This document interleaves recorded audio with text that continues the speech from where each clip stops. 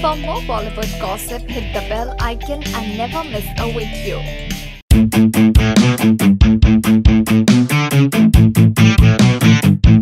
Salman Khan, who plays an ardent devotee of Lord Hanuman in Bajrangi Bhaijaan, has once more shown his devotion to the Lord by lending his voice to the grown up version of Lord Hanuman in the upcoming film Hanuman Da Damdar.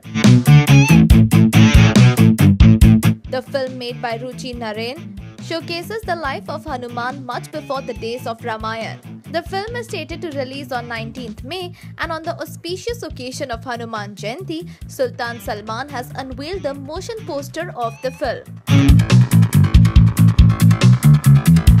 The Dabangg Khan tweeted, ये summer होगा बड़ा दमदार देखो motion poster of Hanuman da दमदार आज Hanuman Jayanti के दिन well, an animated film, the voice of the Bhai of Bollywood, and of course a mythological tale well narrated. Now that's something to look forward to, isn't it? Let us know by commenting in the section below and meanwhile do enjoy the motion poster of Hanuman Da Damdar.